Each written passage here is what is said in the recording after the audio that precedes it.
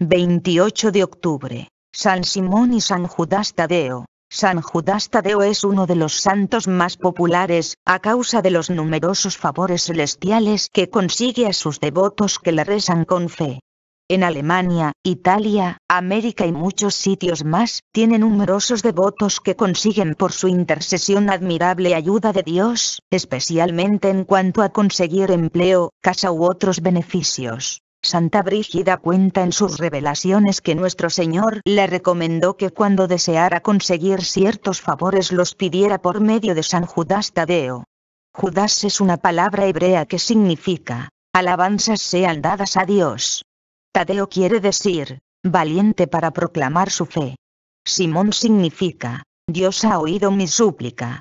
A San Simón y San Judas Tadeo se les celebra la fiesta en un mismo día porque según una antigua tradición los dos iban siempre juntos todas partes a predicar la palabra de Dios.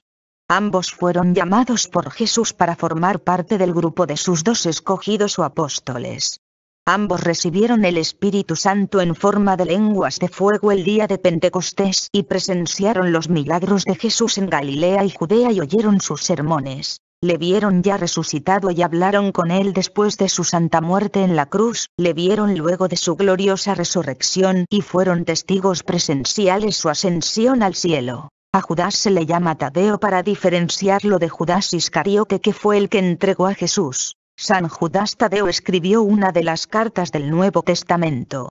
En la misma, ataca a los gnósticos y dice que los que tienen fe pero no hacen buenas obras son como nubes que no tienen agua, árboles sin fruto, y olas con solo espumas, y que los que se dedican a los pecados de impureza y a hacer actos contrarios a la naturaleza, sufrirán la pena del fuego eterno. La antigua tradición cuenta que a San Simón lo mataron aserrándolo por medio y a San Judas Tadeo, cortándole la cabeza de un hachazo.